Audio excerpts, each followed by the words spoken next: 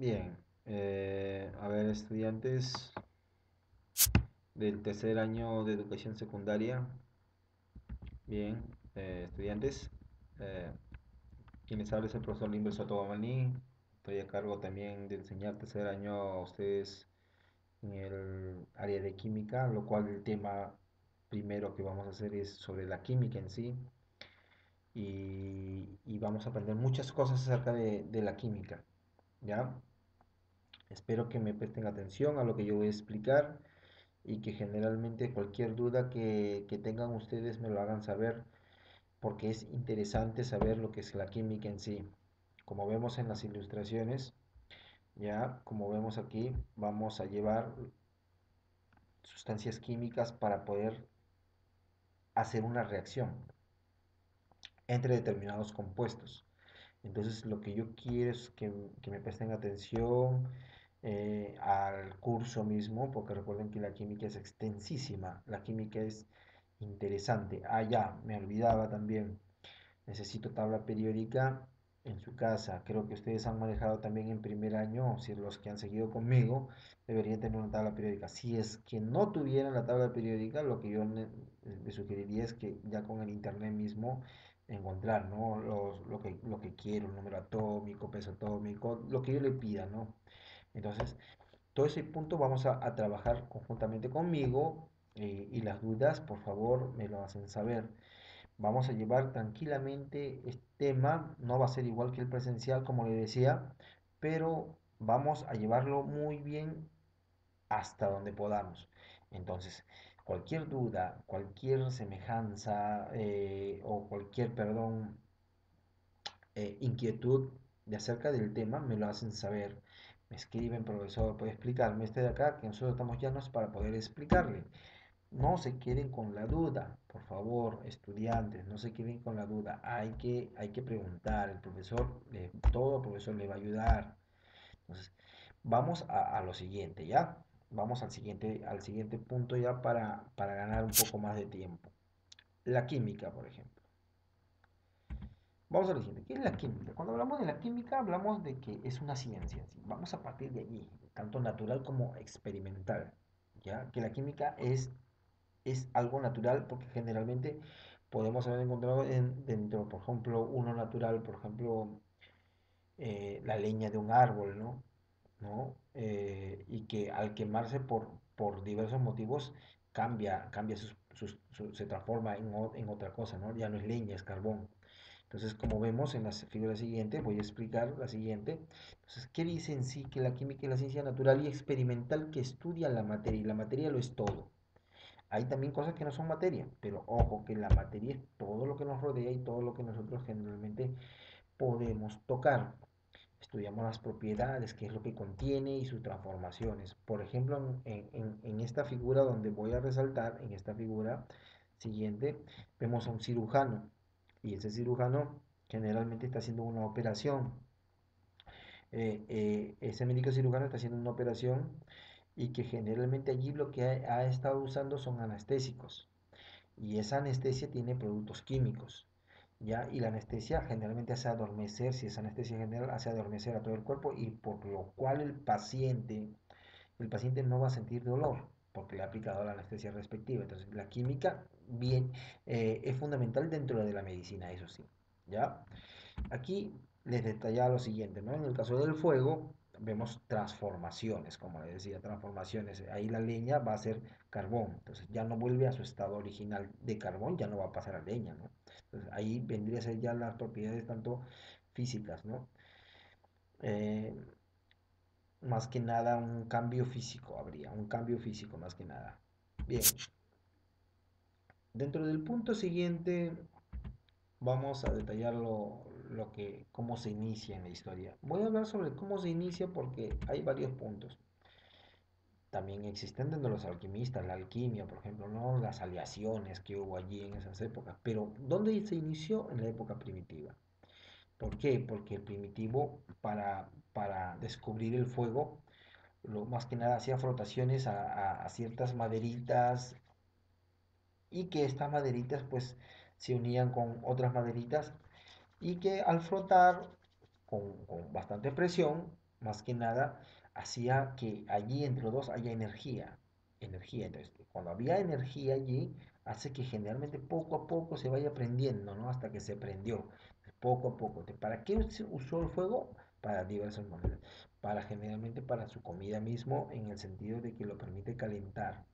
Eh, porque ellos siempre se, alimentaban de organismos que eran pues crudos, ¿no? Entonces generalmente ellos cocinaban ya a base de fuego.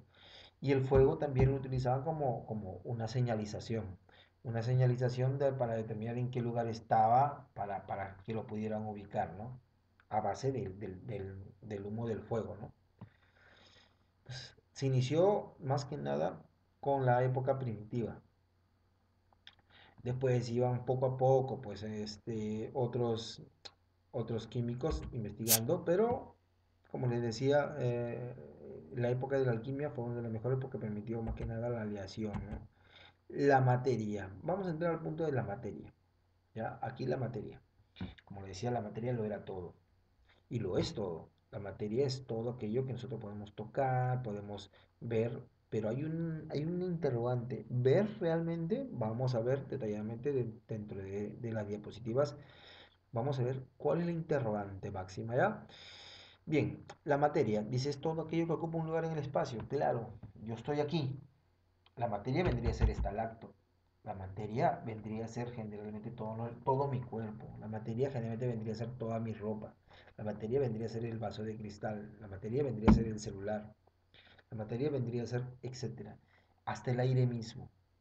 El aire, ojo, el aire vendría a ser materia. Por lo cual, eh, si nosotros nos aireamos, sentimos, ¿no? Sentimos. Entonces, por lo tanto, el aire vendría a ser materia. Entonces, para, para esas cosas tenemos que generalmente ver qué es lo que es materia.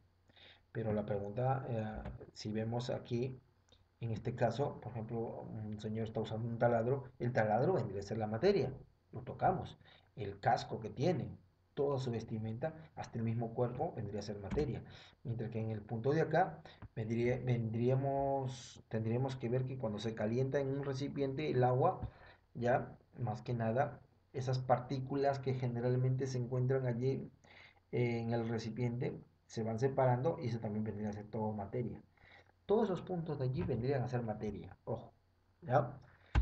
Entonces, detalladamente a lo que yo me refiero es la sombra. Aquí viene la pregunta. ¿La sombra sería materia para ti? A ver, te dejo, te dejo por lo menos unos, unos momentos para que puedas pensar. Pero ojo, ¿la sombra sería materia? Por ejemplo, no sé si se verá eh, eh, en el punto detrás mío, detrás mío. Ven, yo me acerco, eh, me acerco un poco más. No sé si ustedes verán. En este punto yo estoy haciendo sombra estoy haciendo sombra. Como vemos, eh, dice, la, la sombra no es materia. ¿ya? La sombra no es materia. Por lo cual, la sombra es una porción, dice, de una oscuridad, porque si, el, si la luz, la luz eh, me está reflejando algo luminoso, yo estoy poniéndome allí en contra hacia la pared. Entonces, esa parte de allí ya es sombra. Esa parte no lo puedo tocar. ¿no? todo lo que se ve es, como les decía. Y eso está como ejemplo en la sombra. ¿ya? Entonces algunos dicen, oh, el alma, entonces el profesor, el alma, recuerden bien, todo ese producto también de la imaginación. Entonces, todo eso de allí, la sombra sería materia, no es materia, por si acaso, no es, no es. Ya que la sombra es una porción de la oscuridad, es una porción de la oscuridad por luz obstaculizada. Yo lo estoy obstaculizando, yo estoy tapando. ¿ya? No es materia y por lo cual no se convierte en materia por momento. Como vemos en la ilustración, hay una mujercita, bueno, dentro, de, dentro del dibujo está la sombra, pero bueno, la señorita, como le decía, no se ve y, se ve otra cosa, pero cuando quiere verse, esta ve igual, A ver, sobre este punto de aquí, división de la materia. ¿Cómo se divide la materia? Este es un punto importante dentro de la, de la química, ¿ya? División de la materia. Entonces, vamos a ver lo siguiente. El sílice, por ejemplo, que, es un, es un material mineral generalmente a lo que vemos eh, completo, vendría a ser el cuerpo. Y el cuerpo, cuando nosotros lo mecanizamos, o sea, lo trituramos con un objeto, sea una piedra, etcétera, lo molemos, por algo dice mecánico, de cuerpo se convierte en partícula. Ojo, este punto de cuerpo se convierte en partícula por un medio mecánico. ¿ya? O sea, hemos aplicado fuerza ante algo que, lo ha molido. ¿ya? Y, y, generalmente va a formar polvo de sílice. ¿ya? Entonces, esas son partículas. O sea, ¿cómo se divide el cuerpo? En partículas. Sigue la partícula. Después sigue un medio físico. Imaginémonos Imaginémonos que lo echamos en un recipiente lleno de agua y por ejemplo ahí se, se, ve las partículas, las partículas flotando en el agua, en, eh, generalmente es el sílice, las moléculas. ¿Y qué vemos en la figura? Que aquí hay dos átomos de oxígeno, hay dos átomos de oxígeno y un átomo de silicio. Ya, ojo, formando la molécula. Luego pasa a nivel químico. Ya cuando hablamos de nivel químico ya comienza a dividirse en átomos separados, el silicio y el oxígeno mismo. Pero por bombardeos nucleares, ¿cómo lo podemos, cómo lo separamos? Más que nada en partículas subatómicas. Y las partículas subatómicas les hago recordar que es el protón, electrón y el neutrón. Las partículas subatómicas. ¿ya? Y recuerden que en el núcleo del átomo encontramos más que nada al neutrón con el protón porque los que giran alrededor del núcleo son los electrones, ¿ya? Y miren, este punto de aquí, de este nivel, el acelerador de partículas lineales permite que haya quarks. Y el quark generalmente son partículas más pequeñas que esas partículas subatómicas. Y generalmente lo podemos encontrar más que nada en los protones con los neutrones. ¿Ya? Entonces, ese punto tendría que ser la división más pequeña de todo, desde el cuerpo, en todo ese bloque que formó todo esto de acá, desde el cuerpo, donde estoy pulsando, pulsando ahí el, mouse, todo este punto de acá, el pequeñísimo es el cuarzo. ¿Ya? Ojo. Bien, vamos a ver este punto de aquí. Eh, a ver, vamos a detallar los estados de la materia. Nosotros conocemos desde el colegio de primaria tres estados, que siempre nos dijeron estado sólido, líquido y gaseoso. Pero hoy en día ya se conoce el cuarto estado, que es el estado plasmático. ¿Ya? Entonces ahí están los cuatro estados. Y hay un quinto que está por investigarse, que todavía está allí, el, de la interfase. ¿Ya? Que está en plena investigación. Pero hasta por el momento hay cuatro estados ya confirmados. No, antes habían solo tres, pero ahora hay cuarto, el plasma. en el caso del, del estado sólido, la temperatura baja, como vemos aquí en la flecha. Cuando la temperatura baja es que generalmente si hablamos, si hablamos solamente de, lo que corresponde a, los estados líquidos, aquí hielo, hielo es frío, entonces la temperatura es baja. ¿ya? Y eso grábense bien. ¿ah? Si alguien le marea entre baja y alta, recuerden, cada temperatura baja es que hay frío. Y como es hielo, Aquí sus, más que nada, las partículas de aquí se encuentran agrupadas bien, sin casi mucho dejar espacio como ven. No hay, porque por lo tanto es, hielo, es sólido. Entonces las partículas no tienden a moverse con, facilidad. Mientras tanto, en el estado líquido, como vemos, ya un poco están medio sueltos, ¿ven? Porque después del hielo se derrite en líquido. Están medio sueltos, que se quieren mover, ¿no? si nosotros rociamos, por ejemplo, un vaso con agua, tiende a estirarse, el agua se, esparce.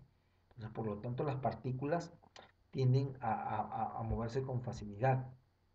Mientras que en el estado gaseoso, como vemos acá, las partículas tienden a irse por diferentes sitios. Ya están más separados. Fíjense bien las tres figuras de aquí. ¿Ven? Las tres figuras. La de aquí en, en la del gas las partículas tienden a, los, a, irse por diferentes lugares. Es decir, si este fuese un pomo, un ejemplo, ahí está, lo aquí, por ejemplo, si esto de aquí fuese un pomo, ya lleno de gas, lleno de gas, ya, ojo, y, y, yo comienzo a abrir, por ejemplo, aquí hay un gas helio, por ejemplo, ya, comienzo a abrirlo, ya, por ejemplo, lo abro, lo abro esta parte de aquí, el gas tiende a expandirse, se va, y se va para diferentes partes que uno no sabe por dónde. Ya, en cambio, en cambio, el líquido sí sabemos para dónde va y sabemos si lo vemos, ¿no? Entonces, esa es la gran diferencia. Y si nosotros hablamos dentro de la temperatura, si es alta, es que generalmente hay, ha habido fuego y tiende, tiende a, elevar su temperatura. Entonces, mientras más temperatura le, le pongamos a este hielo, se va a derretir en agua. ¿Ya? Y mientras más temperatura esté, esta agua se va a convertir en líquido. Por lo tanto, mientras más temperatura haya y todavía está así las partículas de acá, se va a convertir en plasma. Más caliente todavía está. los estados plasmáticos, los estados plasmáticos es, quiere decir que hay altas temperaturas. ¿Y quienes tienen ese estado plasmático? El lava del volcán. Eh, eh, más que nada, el sol, las chispas eléctricas, los relámpagos, todo eso que tiene cargas eléctricas o generalmente tiene cantidad de energía calorífica, oh, que lo mata con un solo rayo nomás a una persona, todo eso es plasma. ¿Ya? Vamos a, tratar de, de, explicarlo detalladamente en este punto de aquí. En este punto de aquí. ¿Ya? Vamos a analizar mientras voy explicando este punto de acá. En este pequeño video. Bien, vamos a explicarlo detalladamente. Ya me van a prestar atención aquí acerca de este video. Bien, damos encendido, le han dado encendido 1. Hasta aquí, voy a hacer una pausa un ratito. Hasta aquí, si están todos agrupados aquí, todos están agrupados, estamos hablando de que es un estado sólido. Y ahí está el hielo. Si ustedes visualizan, ahí están los hielos. Y los hielos tienen que sus partículas generalmente allí están todos juntos.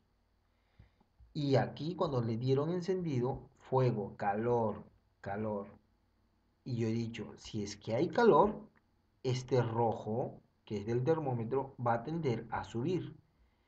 Ya, ojo, le adelanto. Y ustedes más adelante van a ver que esto rojo va a tender a subir. Hasta aquí solamente vamos a hablar en este video de lo que es de los tres estados. No está el estado plasmático, por si acaso. Bien, vamos a seguir. Solamente miren cómo se va a este de acá, en, este, en esta zona de aquí, cómo las partículas van a tender después a separarse y separarse cada vez más. Pero y aquí el hielo va a convertirse en agua, ¿ya? Y después eh, en vapor, ¿no? Bien, se están en movimiento por el momento, estoy acá. Miren, ya se están moviendo un poco las partículas cuando hay más calor. ¿Ven? Esto de aquí se, se va a tender a elevar, esto rojo. Les hago recordar, esto rojo se va a tender a... Y aquí el hielo se está ya derritiendo en agua. Ahorita está en agua, ¿ya? El agua va a aumentar porque el hielo ha originado agua. Ya, miren, miren, está creciendo el rojo. Está líquido ya, líquido, miren, está en movimiento, líquido, líquido, líquido, ya, ojo, ya vapor, ya, tiene tendencia, bien, esto es vapor, y se va a otras partes, esto es líquido, ya, pues, por eso punto, miren, cómo está allí ya en plena burbuja, se está moviendo cada vez más, ven, ya, eso es lo siguiente, cómo están cambiando los estados de la materia con facilidad, del estado sólido, ya no está el hielo, ahora pasó al líquido. Y miren, mientras más temperatura hay, el agua desciende. Las partículas se van a Y miren, se van quedando así hasta el estado, más que nada, lo que corresponde al estado gaseoso. ¿Ya? No sé si me he dejado entender, pero es importante conocer lo que corresponde. Muy bien, Vamos a, dar una explicación nuevamente. Ya quiero que lo analicen nuevamente lo que corresponde. Eh, vamos a ver las más que nada a la actividad domiciliaria. La actividad domiciliaria va a corresponder en lo siguiente. Mencione acerca del estado plasmático. ¿Ya? Mencióname todo acerca y ponme ejemplos de ese estado plasmático. Dentro de la segunda pregunta dice mencione cinco ejemplos de átomos y tres ejemplos de moléculas. ¿Ya? Ya les había dicho que los átomos son las partes, las partes que se ha dividido la molécula. Le doy una nomás. El agua, por ejemplo, H2O, sus átomos vendrían a ser oxígeno e hidrógeno. Dióxido de carbono, por ejemplo, CO2. Ahí tendría que ser un átomo de carbono y dos átomos de oxígeno. Y en el tercer punto, explica, dice lo que entendiste a tu manera, el video de los estados de la materia, de este último video, desde esta diapo. ¿Ya? chicos, mucho gusto de haberles enseñado y recuerden bien eh, lo siguiente, eh, la lavada de manos, chicos, no perjudiquen, si quieres a tu familia, quédate en casa, ya, yo me quedo en casa porque quiero a mi familia, tú también debes querer a los tuyos, cuídate y si sales por un momento, como te digo, lávate bien la mano como, como se indicó, eh, más que nada tu mascarilla cuando sales, ya, y un metro de distancia, por favor. Muchísimas gracias alumnos y hasta una nueva oportunidad.